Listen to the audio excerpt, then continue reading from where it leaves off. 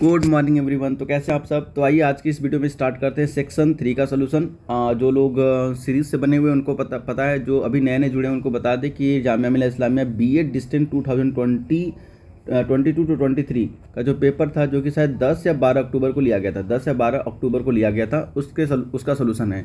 और एक पेपर आपका मार्च में लिया गया था तो ये मार्च वाला ऑलरेडी अपलोडेड है अगर उसे नहीं देखा होगा तो डिस्क्रिप्शन बॉक्स में उसका लिंक मिल जाएगा आप उसको देख सकते हो। ये अक्टूबर में पेपर लिया गया था उसका सोल्यूशन है। इसमें बोला कि आ, आ, मतलब टोटल क्वेश्चन कितना है? फोर्टी सिक्स लेकर फोर्टी सिक्स लेकर सेवेंटी तक क्वेश्चन है। टोटल ट्वेंटी फाइव क्वेश्चन का संख्या कितना होगा? ट्वेंटी फाइव हो जाएगा। तो अब देखिए इसमें पहले क्वेश्चन की तरफ़ चलते हैं। पहले क्वेश्चन में बोला है कि गैलीलियो हु आज इटालियन एस्ट्रोनॉमर हु पहला आ, पहला ऑप्शन दिया है कि डेवलप द टेलीस्कोप तो हाँ गैलीलियो ने टेलीस्कोप डेवलप किया था। तो ये ऑप्शन सही है। Discover four satellite of Jupiter. तो जुपिटर के फोर सेटेलाइट ये बात भी गैलीलियो ने ही बनाया था, बताया था। तो दो सही हो गया। तो अब अगला देख रहे तीसरा पढ़ने नहीं जाएँगे। ऑल ऑफ़ द एवब लिखा हुआ है, इसलिए क्या करेंगे, इसको टिक कर देंगे। ऑल ऑफ़ द एवब को टिक कर देंगे, क्योंकि दो ऑलरेडी टिक हो गया। और कोई ऐसा ऑप्शन तो दिया नहीं है कि A and B are correct ठीक है तो इसलिए डायरेक्ट हम इस पर चल देंगे। ऑल ऑफ़ द एवब पर टिक करके चल देंगे आगे। अब आइए नेक्स्ट चलते हैं फोर्टी सेवन की तरफ़। और यहाँ पर फुल फॉर्म से आ गया कि एफ़ सी स्टैंड फॉर तो देखिए, इस बार आप इसरो इसरो का ये सब देखें, क्योंकि रिसेंट में हुआ है। तो इसरो का फुल फॉर्म याद करके जाइएगा। बाकी जितने भी इंडियन साइंटिस्ट है, जितने भी रिलेटेड जितने भी इंस्टीट्यूट है, सबका फुल फॉर्म याद करके जाइएगा। क्योंकि ये लेटेस्ट ट्रेंडिंग में है तो इसका आ सकता है, इस पर क्वेश्चन आ सकते हैं।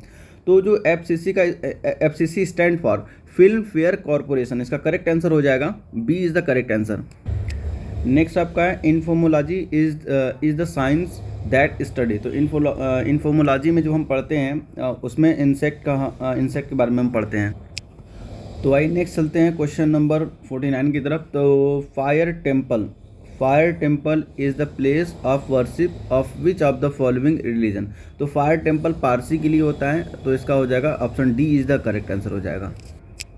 अगर नेक्स्ट क्वेश्चन की बात करें तो ये जो क्वेश्चन है ये ये जो क्वेश्चन है 2020 मतलब ये जो 20 23 में जो पेपर हुआ था अभी रिसेंट में आ, मार्च में उसमें भी सेम यही क्वेश्चन आया था। सेम यही क्वेश्चन कि गोल्फ प्लेयर और एक आप लोग के नॉलेज के लिए और बता दें कि जामिया के बी के पेपर में भी आ चुका है जनरल के बी के पेपर में भी आ चुका है। पिछले ही साल आया था ये पिछले साल पेपर आया था और यहाँ पर भी देखने को आपको मिल रहा है। देख देख सकते हैं काफ़ी रिपीटेड क्वेश्चन पूछते हैं काफ़ी रिपीटेड क्वेश्चन भी पूछे जाते हैं। तो आप लोग वीडियो को ज़रूर शुरू से लेकर अंत तक देखिएगा। और तीन चार साल का पेपर आप करके चले जाइए, आपको वैसे ही हो जाएगा selection golf player Vijay Singh belong to which country क्योंकि देखिए इसलिए सिलेक्शन हो जाएगा क्योंकि जामिया का जो क्राइटेरिया है इग्नू से थोड़ा हट के है। इसमें एक्सपीरियंस माँगता है। आपका जो पहले तो डी तो होना चाहिए। डी एक मिनट हाँ डी तो होना चाहिए। और साथ ही साथ एक्सपीरियंस भी मांगा हुआ है, जिसकी वजह से बहुत सारे बच्चे फॉर्म तो भर देते हैं एग्ज़ाम भी दे देते हैं, लेकिन जब एडमिशन के वक्त उनका एक्सपीरियंस नहीं बन पाता है तो उन्हें, उनका एडमिशन कैंसिल कर दिया जाता है। तो आप भी देख लीजिए, आपके पास एक्सपीरियंस है कि नहीं? अगर एक्सपीरियंस है, तभी इसकी तैयारी कीजिए। तो जो गोल प्लेयर विजय सिंह, नाम से लग रहा है कि इंडियन है। नाम से क्या लग रहा है कि इंडियन है, लेकिन एक्चुअल में फीजी के प्लेयर हैं। एक है? फीजी के हैं। और गोल्ड मेडलिस्ट है भी ये। गोल्ड मेडलिस्ट है।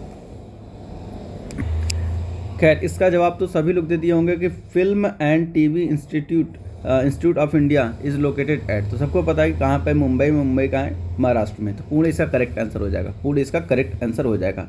नेक्स्ट चलते हैं फिफ्टी टू की तरफ़। नेक्स्ट क्वेश्चन आपका है कि Grand Central Terminal Park Avenue New York is the world's तो वर्ल्ड की लार्जेस्ट रेलवे स्टेशन है, जिसमें 44 प्लेटफॉर्म है। 44 प्लेटफॉर्म है और तकरीबन करीब करीब पचास एकड़ के आसपास में फैला हुआ है। पचास हो सकता है कम हो, बीस हो सकता है, हो सकता है शायद उनचास है। मुझे करेक्ट याद नहीं क्योंकि पढ़ा था शायद उनचास या पचास के आसपास है।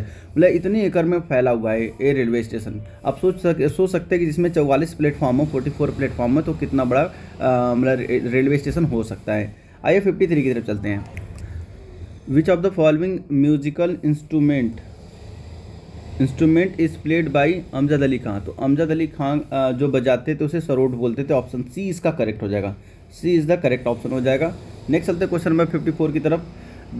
The lady with the lamp the lady with the lamp was the name given to इसका जो करेक्ट आंसर हो जाएगा, आपका सी हो जाएगा फ्लोरिस नटिंगल तो इन्हें जो लेडी ऑफ़ द लैम्प क्यों बोला गया था? क्योंकि इन्होंने नर्सेस के लिए क्या किया था? मॉडर्न नर्सिंग स्टार्ट किया था, जिससे बहुत नर्स के लिए हेल्प मिला था और उन्होंने एक नर्स के लिए ट्रेनिंग स्कूल भी खोला था। नर्सों के लिए ट्रेनिंग स्कूल भी खोला था, जो तकरीबन शायद एटी सिक्सटी था। हाँ एटी सिक्सटी में, एटी सिक्सटी में इन्होंने नर्सों के लिए एक स्कूल खोला था, जिसकी वजह से इनका नाम पड़ा lady with the lamp.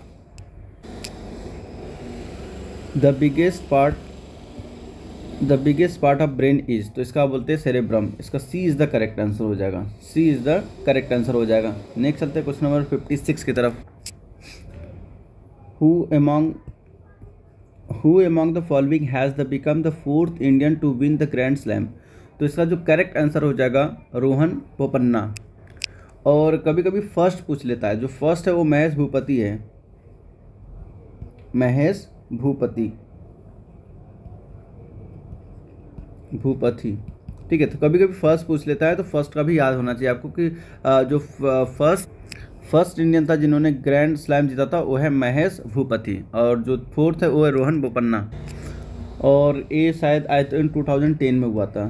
To thousand ten में बने थे fourth Indian player to win grand slam आइए नेक्स्ट चलते हैं क्वेश्चन नंबर फिफ्टी सेवन की तरफ़। देखिए, इसमें पूछा है कि G twenty summit two thousand seventeen held at तो ये तो बर्लिन में, जर्मनी में किया गया था। लेकिन अभी हो सकता है कि इस बार आपसे करंट के पूछेगा? तो करंट का तो आपको पता है कि दिल्ली में किया गया था, इंडिया में किया गया था, लेकिन अगर 2024 का पूछ ले तब क्या बताएँगे आप? तो इसको ब्राज़ील में किया जाएगा। ब्राज़ील में। और अगर कभी ये भी पूछ दे कि फ़र्स्ट कब किया गया था, क्योंकि अभी रिसेंट में ताज़ा ताज़ा मसला है तो पूछ सकता है, जब फ़र्स्ट कब किया गया था तो फ़र्स्ट किया गया था 2008 में और वो यूएस में हुआ था वाशिंगटन में। वाशिंगटन डीसी में हुआ था, फिर उसके बाद जो है टू थाउज़ेंड में आपको पता है कि ब्राज़ील में होने वाला है, फिर उसके बाद साउथ अफ्रीका होगा, फिर फिर से दोबारा से यूएस का नंबर आ जाएगा। और अपने इंडिया का जो दोबारा जो नंबर आएगा वो टू थाउज़ेंड फोर्टी टू में आएगा। दोबारा जो जी ट्वेंटी सबमिट होगा वो टू थाउज़ेंड फोर्टी टू में होगा। हालाँकि ये जो टू थाउज़ेंड ट्वेंटी थ्री में सबमिट हुआ था इंडिया का number two thousand twenty one में ही था। लेकिन आ, कुछ इंटरनल मसलों की वजह से इसको करवाया गया टू थाउज़ेंड ट्वेंटी थ्री में करवाया गया। हालाँकि जी हज़ार इक्कीस में ही हो जाना चाहिए था। लेकिन हो सकता है शायद चुनाव का माहौल है इसकी वजह से अभी करवा लिया गया है जो भी मसला हो। अब नेक्स्ट चलते हैं क्वेश्चन नंबर फिफ्टी एट की तरफ़। नेक्स्ट आपका है कि the book the book the ministry of क्या है? अनमोस्ट हाँ utmost happiness utmost happiness is written by तो इसको जो लिखी है अनुरुद्ध अनु, अनुदति रॉय लिखी हैं। तो अनुदति रॉय हो जाएगा इसका डी इज़ द करेक्ट। आइए नेक्स्ट चलते हैं क्वेश्चन नंबर फिफ्टी नाइन की तरफ़। Which of the following country has approved world first dengue vaccine तो वर्ल्ड की फ़र्स्ट डेंगू वैक्सीन जो है, वो देखने से सबको लग रहा है कि यूके होगा कनाडा होगा फ्रांस लेकिन मैक्सिको ने किया है। और आपके जीके के लिए एक बात और बताती कि ये 2015 में बनाया गया था 2015 नेक्स्ट चलते हैं क्वेश्चन नंबर सिक्सटी की तरफ़।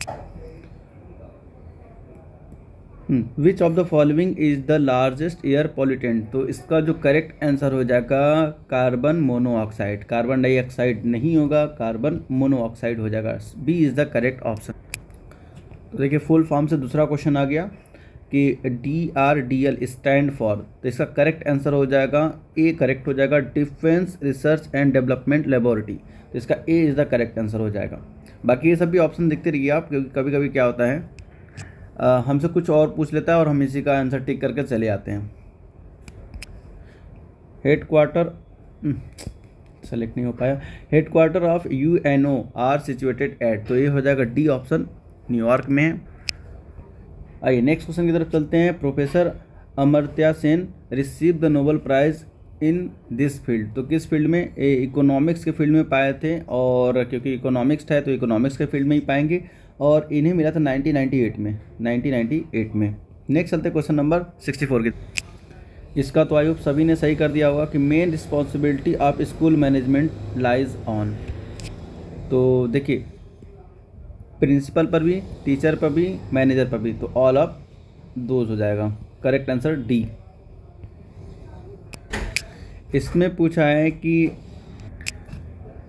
appreciation love affection are the part of the following needs of child तो इसका हो जाएगा इमोशनल इज़ द करेक्ट हो जाएगा। Emotional is the correct option next चलते हैं क्वेश्चन नंबर सिक्सटी सिक्स की तरफ़। The concept of education the concept of education as purification of the mind and heart was given by तो इसका correct answer हो जाएगा डी गांधी जी गांधी जी ने दिया था। नेक्स्ट चलते हैं क्वेश्चन नंबर सिक्सटी सेवन की तरफ़।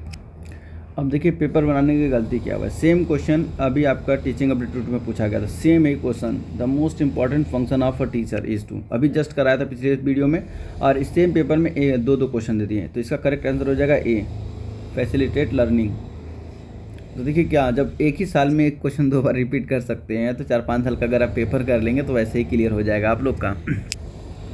नेक्स्ट आइए क्वेश्चन नंबर सिक्सटी एट की तरफ़ बोल रहा है कि the classroom communication of the teacher rest of the principal of teacher हाँ rest on the principal of इसका जो करेक्ट आंसर सी हो जाएगा इनलाइटमेंट ठीक है इनलाइटमेंट बाकी ये दोनों टेक्निकल वर्ड है, इसको छोड़ दीजिए, ये दोनों फ़र्स्ट ईयर छोड़ दीजिए, और इंटरटेनमेंट अलग ही हो गया. नेक्स्ट आता है सिक्सटी नाइन की तरफ़. The first open university in India was set up in the state of Andhra Pradesh इसका करेक्ट आंसर हो जाएगा सी आंध्र प्रदेश ये आपका हुआ था नाइनटीन एटी टू में और इस यूनिवर्सिटी का नाम था doctor Bhimrao Ambedkar open university जिसे हैदराबाद में ओपन किया गया था। हैदराबाद कहाँ है? आंध्र प्रदेश में। तो करेक्ट आंसर हो जाएगा सी आई सेवेंटी की तरफ़ चलते हैं। देखिए, इसमें harmonious development of the child as aim of education mean तो हारमोनस डेवलपमेंट मतलब था कंप्लीट कंप्लीट देखिए कहाँ पर ऑल की बात की गई तो पहले में की गई development of all quality of the mind mind to maximum possible event to extent इसका करेक्ट आंसर हो जाएगा A is the correct answer हो जाएगा। तो ये रहा सेक्शन आपका सेक्शन नंबर थर्ड अगर सेक्शन फोर आपको चाहिए तो कमेंट बॉक्स जल्दी कीजिए। जल्दी से मिल जाएगा, क्योंकि कल ही पेपर है, आप लोग भी समझ सकते हैं, कल ही पेपर एक बार रिवाइज ज़रूर, सुबह सुबह उठ के, क्योंकि पेपर तो आपको सेकेंड शिफ्ट में है तो सुबह सुबह पेपर एक बार रिवाइज करके ज़रूर जाइएगा, क्योंकि देखिए आप, आपने खुद देखा कि अभी 2022 में ही 2022 में ही दो क्वेश्चन को रिपीट कर दिया एक ही क्वेश्चन को दो बार पूछ लिए तो सोचिए बाकी का क्या आलम होगा तो पेपर को रिपीट करके ज़रूर जाइएगा, खास कर जो इस बार का पेपर हुआ है 2023 का बीएड का, दोनों का, एक डिस्टेंस वाला, एक डिस्टेंस वाला और एक जनरल वाला इन दोनों को तो करके ही जाएगा, इनके बिना मत जाइएगा। अगर इनके बिना आप जा रहे हैं तो समझ लीजिए बहुत कुछ मिस कर रहे हैं। आप देखेंगे, इनमें बहुत सारे सिमिलर चीज़ें मिलेंगी। और अगर आपने 2023 2022 का कर लिया 2022 का पेपर कर लिया 2023 का जनरल बी अगर अगर आपने जनरल बी कर दिया तो रीजनिंग मान के चलेगा एटी परसेंट से ज़्यादा मिलेगा आपको। एटी परसेंट ज़्यादा रीजनिंग इन्हीं से मिलेगा, एटी परसेंट ज़्यादा। कई कई क्वेश्चन तो हु बहु एग्जैक्ट वही छाप देते हैं, पूरा का पूरा छाप देते हैं। तो ये बात ज़रूर माइंड में अपने रखिएगा। मिलते हैं नेक्स्ट वीडियो में सेक्शन फोर के साथ। वो आपके कमेंट आएगा, तब सेक्शन फोर भी आएगा। तो चलिए तब तक अपना बहुत ख्याल रखिए। थैंक्स फॉर वॉचिंग और लाइक सब्सक्राइब ज़रूर कर दीजिएगा। और अपने दोस्तों में भी इसे शेयर ज़रूर कर दीजिएगा।